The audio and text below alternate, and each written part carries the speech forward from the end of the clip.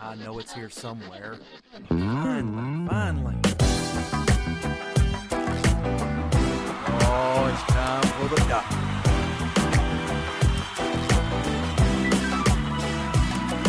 You're listening to Dr. Bill, the computer curmudgeon. Ah, take it away, Doctor. Dr. Bill the Computer Curmudgeon is brought to you by GoToMeeting with HD Faces.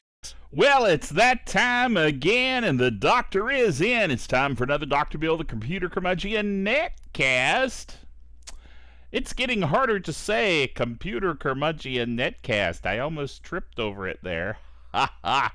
But it is time for another netcast, and I'm glad you could join us because we are indeed proud members of the Tech Podcast Network, techpodcast.com. If it's tech, it's right here on Dr. Bill the Computer Curmudgeon.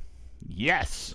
Boy, we've got some cool stuff for you this week, not the least of which is a demo of a Linux distribution that I really am excited about, and I want you to see it.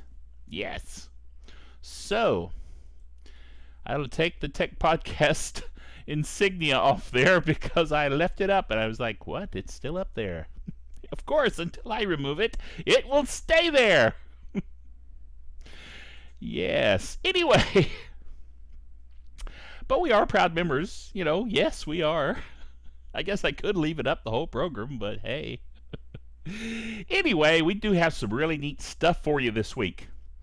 And, you know, as I did last week, I want to just remind you that our sponsor, Citrix Systems, I'm telling you, they're an awesome group group of folks. I really appreciate them, and I appreciate them sponsoring uh, the drbill.tv show through techpodcast.com. So I just want to say that. I really appreciate that. And while I'm at it, let me tell you a little bit about GoToMeeting with HD Faces. GoToMeeting is an awesome, awesome system. And you know, I mentioned last week how this summer we've been traveling all over the place. You've been on vacation, you've been going places, doing things. But you know, work doesn't stop, it just keeps going. And sometimes you need to be able to check into work and you need to be able to be in on a meeting even if you're on vacation. And sometimes it happens. Well, you know what? With GoToMeeting with HD Faces, you don't have to jump in a plane and come back home and interrupt your vacation if you have an important meeting. You can join that meeting electronically through GoToMeeting with HD Faces. And with an HD webcam like the one I'm using right here, the Logitech um, 910, C910 webcam, you can really, it's, I mean, it's just like being there.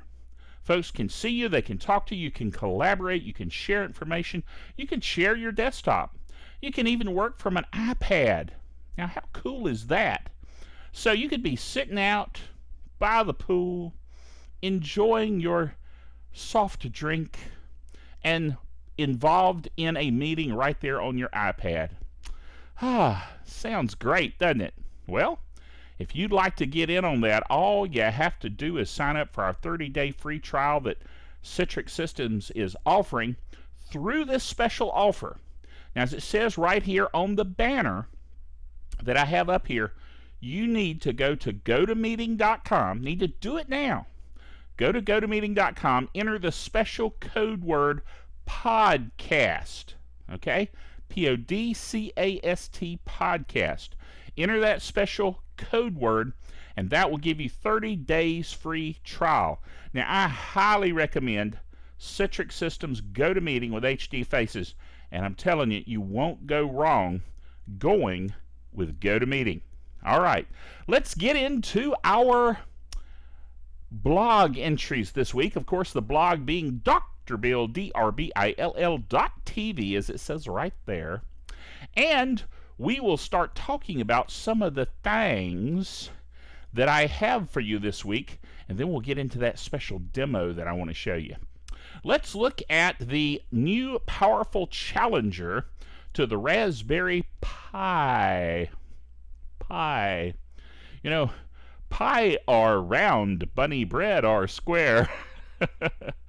Ah, I know I'm dating myself. That goes back to the old Arthur Smith show. The North Carolinians who watched TV when you were just young whippersnappers like myself way back then. You had Arthur Smith and his brother Ralph. And old Ralph, he was quite a character. And he liked to say that, you know, pie or round, bunny bread or square. Bunny Bread was one of their sponsors. Anyway, if you don't remember that, don't worry about it. Anyway, the Raspberry Pi, we talked about that before. $35, tiny, tiny little full full featured computer, and yet a very small computer on a small board. Yes. Well, this is a competitor to it, a challenger. It's called the Hackberry. the Hackberry A10 developer board. Now it's 60 bucks, so it's more expensive than the Raspberry Pi, but boy, does it make up for it in terms of power. More power to the people. 1.2 gigahertz Allwinner A10 ARM Cortex A8 CPU. It's hard to say. Mali 400 graphics, 4 gig of built-in storage, 1.5 gig available in the Android user partition. Uh, 802.11n Wi-Fi built in. 10100 Ethernet, two USB 2.0 ports, SDHC card slot for more storage, an HDMI output so you can put it to your big screen TV, a 3.5 inch microphone jack so you can use it to record things, composite video output, and a 4 pin serial header, all on a little card that is about 65 bucks. Yes. Should be fun to play with. All right. Next item Roku raises $45 million from News Corporation, BSkyB, and others. They've gotten an investment from all of these various content providers that are going to be doing things with the Roku box. And we've got some, we got a, several Roku announcements this week. This is one of the big ones because it gives them the finances they need to uh, broaden their advertising, their games, transactional and pay-per-view video, as well as content packages. So more stuff coming from the Roku or for Roku and for us as users. Yes. Contributions for Ouya on Kickstarter have topped $8.59 million. Woo! I'd say that's a successful Kickstarter startup. Yes, indeed. And as we'll find out shortly, they now have their own Ouya website. You know, they've been running everything off the Kickstarter site um, and talking about all the things they have going on there. And uh, now they have their own website, and you can actually buy, kind of pre-order the Ouya system at their new website. And I'll go ahead and mention that their new website is Ouya, and that's O-U-Y-A dot TV, because you plug it into your TV for the video portion. So Ouya.tv, that should be fairly easy to remember, as long as you know how to spell Ouya. yes. All right, LibreOffice 3.6 is out, so you must upgrade. Go forth and upgrade. Why, you ask, Dr. Bill? Well, of course, it's got bug fixes. It's got all those usual things. New features are in there. The cool thing is it looks prettier. yes. It's more graphically looking and stuff. It's cooler looking, so go for it. So, it has a new Corel Draw importer. It has integration with Alfresco via the CMIS protocol and limited SharePoint integration color scales, data bars in the spreadsheet cells, PDF export watermarking, improved auto format function for tables. In other words, it's got tons and tons and tons. I'm not going to read them all. You can read them in the article if you'd like. But lots of new features. So it's definitely worth the upgrade, particularly since it's free. Come on, folks, free. I mean, I was talking to folks at work, and they were talking about, you know, how much it cost for a Microsoft Office license for folks at work. Well, dude, just use LibreOffice. It's free. It's got awesome features. It's awesome and it's free. Did I mention that? Open source. It's the way to go. Anyway. Now, a recent press release, this is a new item by the way, says that Amazon Cloud Player is coming to Roku. I told you we had Roku information this week. Amazon Cloud Player, so I can play my music. I have all my albums uploaded in my Amazon Cloud account. Don't you love the cloud? It's so fluffy. yes. Anyway, you can put your music there as I have, and then you can play it on your phone. This is my phone. I actually had it with me this week, which is kind of cool. So I can actually go here and I can hit the Amazon MP3 button and then you can see I have all kind I don't know if you can see that or not actually. Let me let me see if you can see it. Let me go to the the camera. Yes you can kind of uh, as long as I don't get the shiny going there. You can see that there's a list of albums there. And uh, bunches of them actually. Bunches of albums ooh that was a shiny. Anyway as you can see little bitty thumbnails of the albums. You can click on it and you can click on it again and it will start playing. After it starts downloading it takes a moment to to download the uh, the goodness.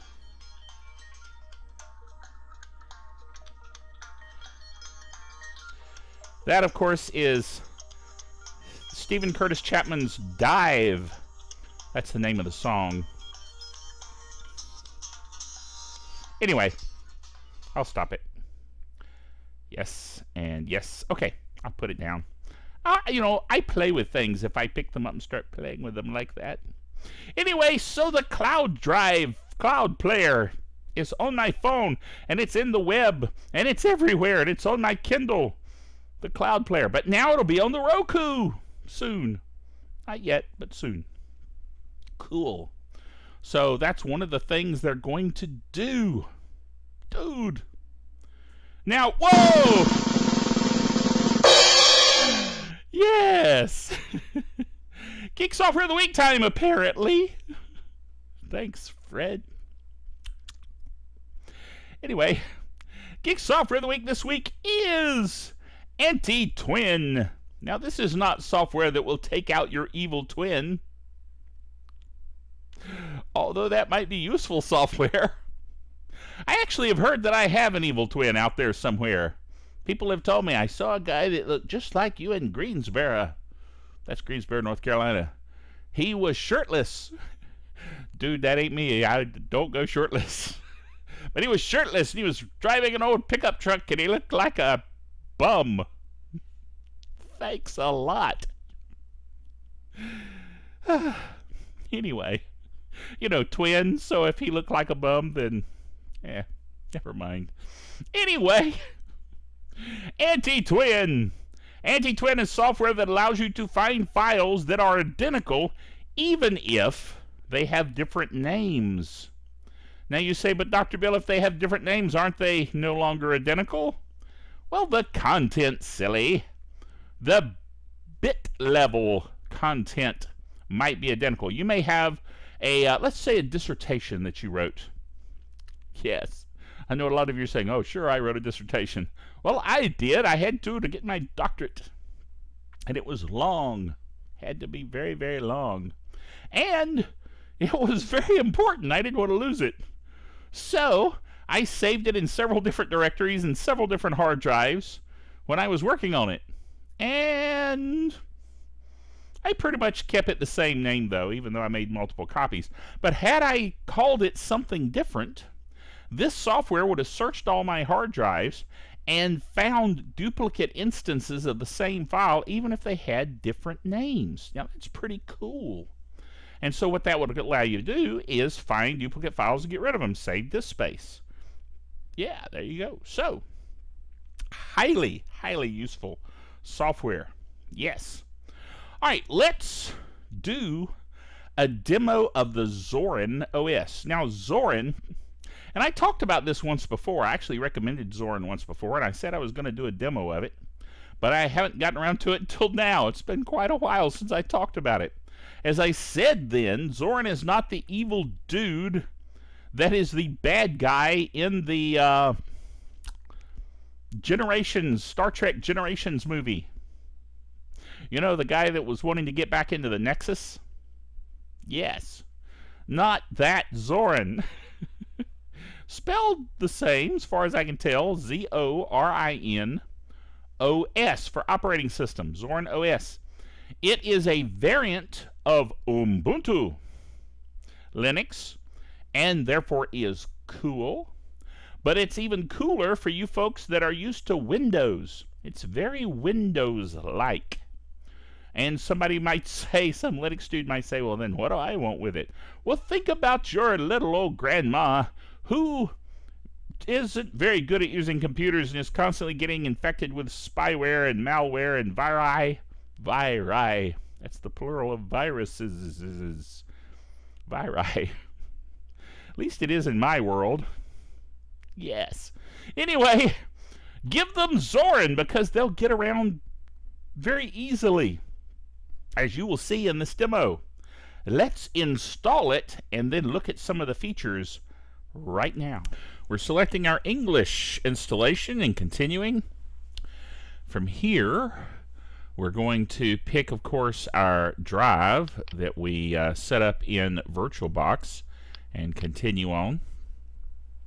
And of course, we do want to erase the disk, so we'll go ahead and do that and install. And I will say this, I have cut some of the uh, extra footage out of this entire installation, so it'll go pretty fast, I believe. We are, of course, in the New York time zone, being right here in High Point, North Carolina. So we'll choose that and continue. It's going to copy some files to our hard drive, and of course, English. Yes, indeed. English Cherokee. Now that's interesting. Alright, I'll just go ahead and type in my name. And uh, though it shows a name for me, I think I'm going to erase this and type in something a little more, uh, yeah, let's get it right, a little more generic. Zorin OS. And of course, Dr. Bill and the amazing, incredible, super secret password. Eh, a fair password. Okay.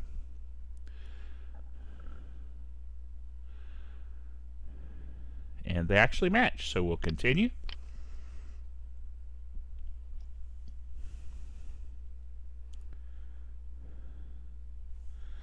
And again, I've cut some of this out so there'll be a few little minor jumps along the way as we move along in the installation. Nothing to see here.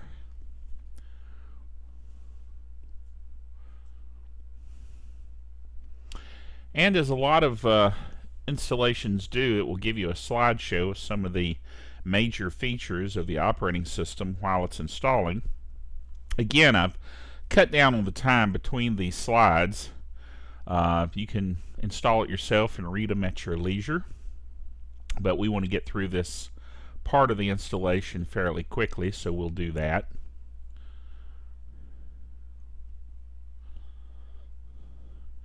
At least gives you the headlines and the high spots. This is a very graphical um, installation and interface. And of course it uses LibreOffice. Gotta love that. We'll talk about that here a little more in a few minutes.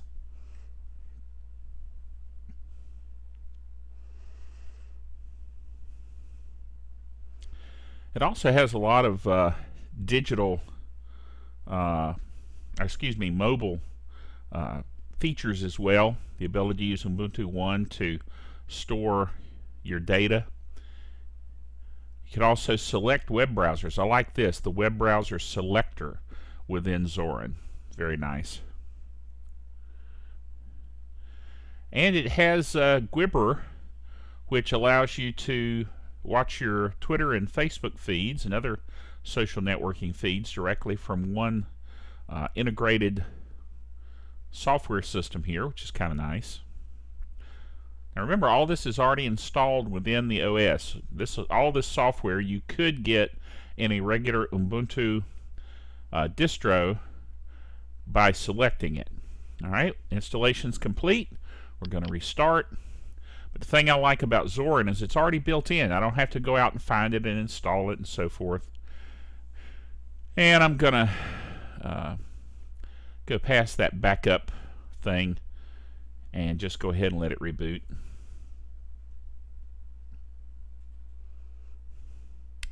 We'll go ahead and hit enter and Zorin will boot actually now off of the hard drive as opposed to off of the live edition. So we'll type in our super secret password.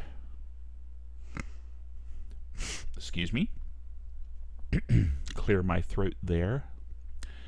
And it puts us into the standard Zorin interface. Now, uh, you can select different interfaces. And of course, it's taken a moment here the first time we boot to kind of build out the uh, menu system and so forth.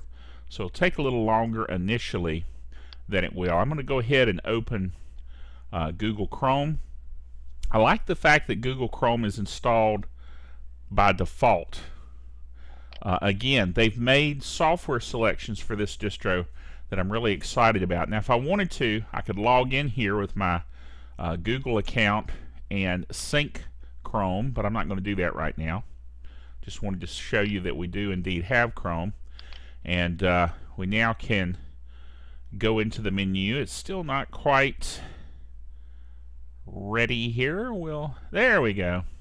Now, we can see that it does look very much like Windows.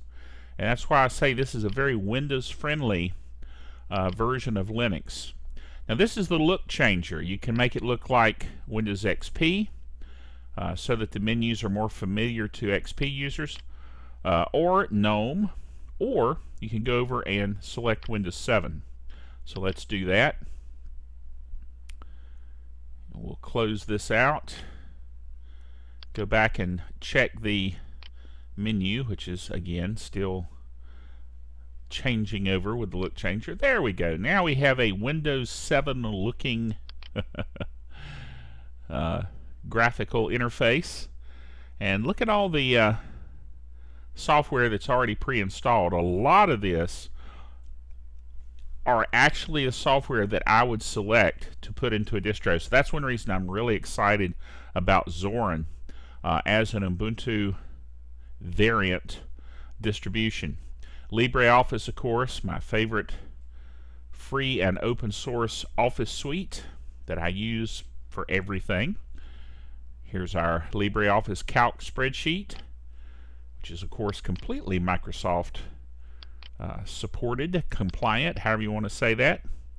And uh, let's, I keep clicking on the wrong thing there. I'm still getting used to the interface. Let's go into Writer. I think I accidentally clicked, yeah, I did on the Software Center. so that's coming up in the background, but I wanted to go into Writer and mention that LibreOffice, this is uh, this is a very recent edition. It's not the most recent, which is 3.6, which is now out, but it is still a very good and solid edition of LibreOffice. Um, let's go, let's go actually, oh yeah, this is one thing I wanted to show you too is Wine. Wine is already pre-installed. So you can actually install and run some Windows programs if you would like to try it under Wine. And a lot of them will run. I know eSword runs very well. A lot of other things. Uh, but this software that's already installed, like I said, the GIMP, uh, lots of things that I would have installed had they not already been there, but they're already there. That's really nice. Let's go ahead into the Software Center. I saw that in games we didn't have Frozen Bubble, and of course, you know what? You gotta have Frozen Bubble. so we're to go ahead and add that in. I'll show you how easy it is to use the Software Center. Just locate it in the search engine, click Install, and then type in your password. This is the super secret password that I mentioned earlier. Same thing you use to log in. Once you authenticate, it goes ahead and installs, and I'll cut out some time here uh, during the install, so we'll go ahead and jump ahead just a bit here in a second. There we go. A little quick jump. so that we can go ahead and see Frozen Bubble in action. Now that we have installed it, I'll close the Software Center. It's got that backup thing. I'm gonna don't show that again. Give me a hard time. And we'll go into the menu and go to applications and games. And notice, this is what I wanted you to see. Frozen Bubble is now in the menu. I can bring it up and play good old Frozen Bubble. Now, if you've never played Frozen Bubble, I gotta say, you've gotta try it. It's really an awesome little program. And uh, it is quite addictive, actually. if you've never played it, I encourage you to try it out. Uh, remember, we're running on a virtual box operating system, uh, or uh, hypervisor, I should say, for the operating system. So it's going to be a little slower than if I was running it native. But we'll go ahead and select the first choice, the first level. And there you go, Frozen Bubble. Can fire my little bubbles. There you go. Let's let's go for the red ones. Yeah, now the yellow. All right, more red ones. Of course, you're going after the bubble that is the color that you're firing. And you've got to hit at least three at a time in order to get rid of them. And see, red, one's not enough. I'm going to have to have another red. So I'll wait for another red. That way I can get rid of them. I like to stack them if I don't have the right color. Like that. And then now I'll hit the green. Well, oh well, there's a green. Three greens. Get my reds so I can hit the reds, the blues, and now I can hit three greens. And, well, I missed. I should have gone right between them, then I'd have hit it. okay, three greens. Ta-da! I'm a winner. yes. So, of course, I'll sign it. And it's a great game indeed when you win. Ooh, level 2. I thought I selected level 1. There you go. Anyway, Zorin, the operating system, easy to use, very much like Windows. Gotta love it. And of course, you have the opportunity to play your music. And let's see here. Oh, whoops. Yeah, there's the accounts. There we go. Shut down and we'll close out this demo and shut down our virtual box. Okay, wasn't that cool? I'm telling you, if you're a Windowsy kind of person that's looking to move to Linux, this is the way to do it. Go with Zorin, the Zorin OS. Yes. All right, next item. NASA's Curiosity rover, which is awesome, uses the cloud. I talked about the cloud earlier. It uses the cloud to store stuff. How cool is that? Anyway, I'm pretty jazzed about the rover landing. It was quite a feat, as they called it, the seven minutes of terror, because they weren't sure it was going to successfully land with all the finagling they went through to get it there, but it, they, it did, and it worked. Cool. And some of the pictures we're seeing, oh, they're awesome. So at any rate, uh, Amazon, as you know, has a cloud computing thing going on, Amazon S3. I use it to store the videos from my show, as a matter of fact. And I use their CloudFront service, tied in with that, to distribute the shows throughout the earth. Yes. So, with all the large scale data processing to be done, JPL, the Jet Propulsion Laboratory, is leading the way in the adoption of cloud computing in the federal government, said Khawaja Shams, manager for data services at La Canada, Flintridge-based JPL. La Canada. Yes. At this point, JPL's data centers are filled to capacity, so we're looking for ways to cost effectively expand the computational horsepower that we have at our disposal, he said. Cloud computing is giving us that opportunity. Dude. So they're using cloud computing for the Curiosity rover. Wow. I mean, a rover the size of a Volkswagen. I used to, my first car was a Volkswagen. Zowie. And it's nuclear powered. Or as President Bush used to say, nuclear. nuclear powered. Wow. cool. Anyway, and it has a laser beam. It has a laser eye. it's highly geeky, gotta admit. Anyway, so it's time for the Game Master segment. Yes, indeed, time for my son Benjamin, otherwise known as Game Master ZX, to join me for the Game Master segment. Your brightness level's shifting again. I, yeah, I'm just I'm I'm too radiant for your camera to handle. Apparently, the camera is going what what. You are on the Microsoft camera though, so explains everything. That does explain a lot. Um, whereas I am indeed on the Logitech 910 webcam. Da, da, da, so just saying. Mm. Um. Anyway, so we were talking about Guild Wars two, two, and I didn't say dose this time. I was very good. I caught myself. Although I just nullified that. Anyway, doesn't anyway. matter. Point is, uh, we were talking about the general pieces of the Guild Wars 2-ness and that you were stress testifying. Yeah, I didn't uh, really get to talk much about details about the game. Yes, and we are going to try to keep this segment somewhat short because yeah. I ran along on the regular show. How dare you? Yes. That means I don't really have time to get into like the combat, which is what I was planning on getting into this week. But that would probably take at least 20 minutes. So, oops, there goes the brightness again. I'm going to I'm going to just leave it alone. You guys can just deal with it. Deal with it, man. there you go. Um, so I think I'll just hit a few more general points that I kind of I think I missed last time. Okay. Uh, for example, the graphics on the game. Mm-hmm. A lot of people are saying they're really disappointed with them. I'm impressed with them because the game looks beautiful. First of all, I mean, just the the design of the game, the art style, and everything is just visually I don't know. It's just attractive. You know, it makes you want to play the game. I see. And I'm playing on a fairly old PC at this point. I got it, what 2006. Yeah, 2006 era. Yeah, somewhere around there. Anyway, I'm still running XP. That tells you something.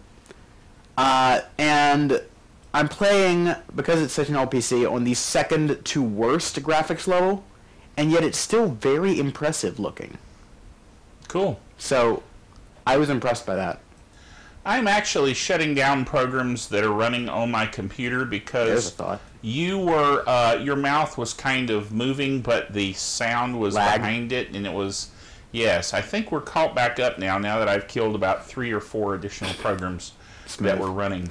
Speaking of lag, yes, uh, we just had a good example of that. Yes. No, but uh, these last because there have been a lot of stress tests going on. You know, the last few have been really bad with the lag, but um, they've assured us that that's just because you know they're stressing their servers. What is it lagging again? It's, no, it's not lagging. It's the brightness is uh, going wonky. Uh, I mean, anyway. really seriously wonky. Uh, it, it, just keep going. I mean, there's nothing we can do. It's just weird. What's Microsoft doing with their webcam? Anyway. Uh, eating it. it's just been so bizarre. Anyway. okay. Um, I will laugh, by the way, if that turns out to be all on your end and it's actually recording perfectly. No, I think it's actually like going into night, like just there. You went into darkness and then you start slowly started coming back into brightness. Magic. It's just. Anyway. Odd. What was I talking about? You were talking about lag. Lag. Uh, lag's been really bad these past few stress tests, but uh, they say that's just because they're you know stressing their servers to see how much they can handle. That is the purpose. Exactly. So when I played during the weekend events, when it wasn't quite so laggy, compressed, I guess, it was um, you know running very smoothly most of the time, except for when my computer was being dumb. Anyway, uh, so graphics, running speed is pretty good. I mentioned the music briefly last time. I wanted to mention it again because I recently found out that the composer for Guild Wars 2 Mhm. blah, blah, blah, also worked on the Elder Scrolls series, which is like probably the biggest role-playing series in all of ever. Maybe not, but kind of feels like it is. Anyway, um, and a lot of the tunes actually sound very similar to Elder Scrolls tunes, Mm-hmm. which is good if you like that music and you like to hear that style of music, but it's not so good because I kind of can't help but think of Elder Scrolls games now when I play them. Play Guild Wars, that is. Yeah. Which is kind of a double-edged sword because it Guild Wars does have that sort of you know exploration-y feel to it. Mm-hmm. So it does kind of evoke that uh, same image in the player's mind, but at the same time, you shouldn't be thinking about a competing game while you're playing, you know, someone else's game. It just doesn't quite feel right. I can see that being an issue. Although one thing they do do with their music that's interesting is they actually let you plug in your own music from your computer and play it That's pretty cool. directly through the game. Neat. Also supports um, automatic uh, VoIP ducking, so the game audio ducks down when you're talking on uh, like Skype or whatever, Ah, I see. which is pretty clever, really. That is pretty good. That is pretty good. Does not have built-in voice chat though. You have to use a second party pro- second, yes, third party program. Yeah. So, um, and Skype does work Hello. and doesn't choke it too badly. I haven't actually tried it yet. I, I haven't Oh. actually played with anyone yet that I know that I would have a sni- Skype snipe connection Snipe to. account. Go hunting for a snipe. There's something productive to do. wow. But anyway, um, so yeah, generally I am very excited about this game. You should be too, all of you, Yep. every last one of you. So you want everyone to join you in the questery and the uh, the going forth and the doing of things. Exactly. Uh, the server system, by the way, you know how a lot of MMOs like segregate people by server. You can't Mhm. play if you're not on the same server as someone. Guild Wars 2 sort of does that, but um, they allow you to actually be a guest on other people's servers. Oh, that's cool. So you can actually play with your friends even if you're on the different servers. Ah. The only restriction to that is you cannot play in World versus World because World versus World is basically one ser well, one server versus another server versus another server. mm-hmm. So it wouldn't really be fair if you could like guest on other people's servers and like cheat for them essentially, you know. yeah. So um, that's the only restriction to that. Uh, I'm currently, as of the beta, playing on the Ehmry Bay server. Right. For those of you who care. Uh, but I mean, there's no guarantee that server will even exist once it launches. We don't know what the servers are going to be yet, so I'll keep you posted.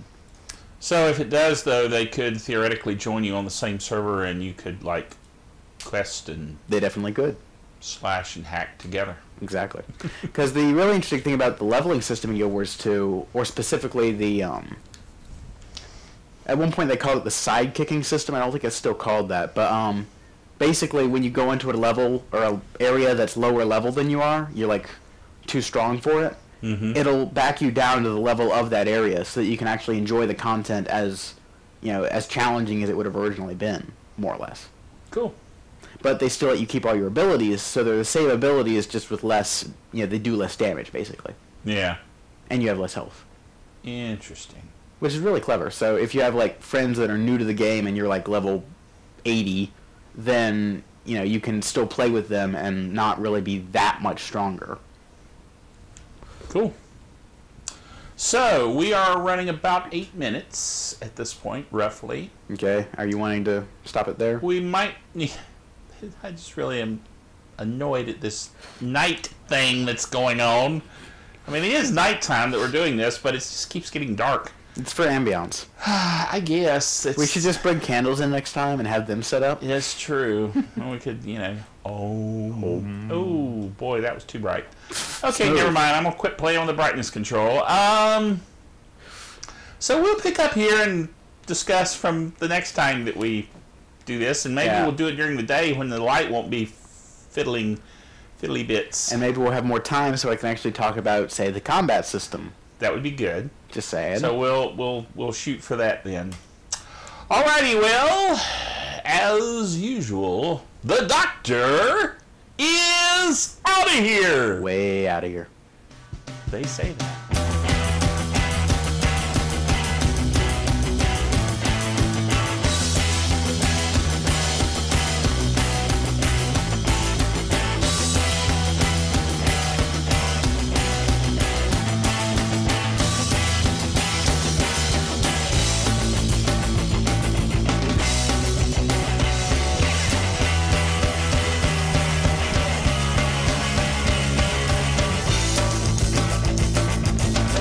Bill, the Computer Curmudgeon, is a production of DrBillBailey.net with all the honors, rights, and privileges thereunto appertaining.